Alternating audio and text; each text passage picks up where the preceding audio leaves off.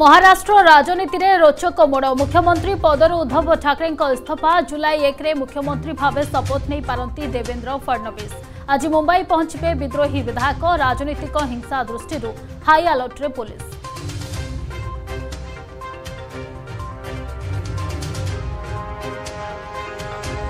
ଆଜି ବିଜ୍ଞାନ ଭବନଠାରେ ଉଦ୍ୟମୀ ଭାରତ କାର୍ଯ୍ୟକ୍ରମରେ ଯୋଗଦେବେ ପ୍ରଧାନମନ୍ତ୍ରୀ ନରେନ୍ଦ୍ର ମୋଦି।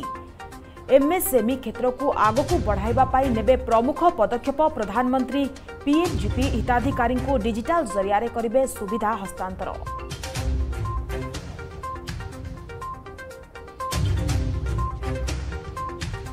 ଆଜିଠୁ କେନ୍ଦ୍ରମନ୍ତ୍ରୀ ଧର୍ମେନ୍ଦ୍ର ପ୍ରଧାନଙ୍କ ଦୁଇଦିନିଆ ଓଡ଼ିଶା ଗସ୍ତ ବିଭିନ୍ନ ପ୍ରକଳ୍ପର କରିବେ ଭୂମି ପୂଜନ ଶୁଭାରମ୍ଭ ଶୁକ୍ରବାର ପୁରୀ ରଥଯାତ୍ରାରେ ହେବେ ସାମିଲ ଆଜି ଅନୁଗୁଳ ଗସ୍ତ କରିବେ କେନ୍ଦ୍ରମନ୍ତ୍ରୀ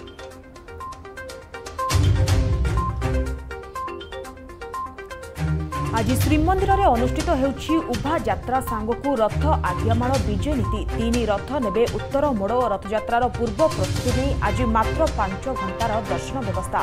ସନ୍ଧ୍ୟା ପାଞ୍ଚଟା ପରେ ମହାପ୍ରଭୁଙ୍କ ସର୍ବସାଧାରଣ ଦର୍ଶନ ବନ୍ଦ। ଆସାମରେ ବନ୍ୟା ସ୍ଥିତି ଉଦ୍ବେଗଜନକ। ପୁଣି ଗଲା ବାର ଜଣଙ୍କ ଜୀବନ। ମୃତ୍ୟୁ ସଂଖ୍ୟା ଶହେ ଏକାବନକୁ ବୃଦ୍ଧି। ଛବିଶ ଜିଲ୍ଲା ବେଶ୍ ପ୍ରଭାବିତ। ବିଭିନ୍ନ ସ୍ଥାନରେ ଉଦ୍ଧାର କାର୍ଯ୍ୟ ଜାରି।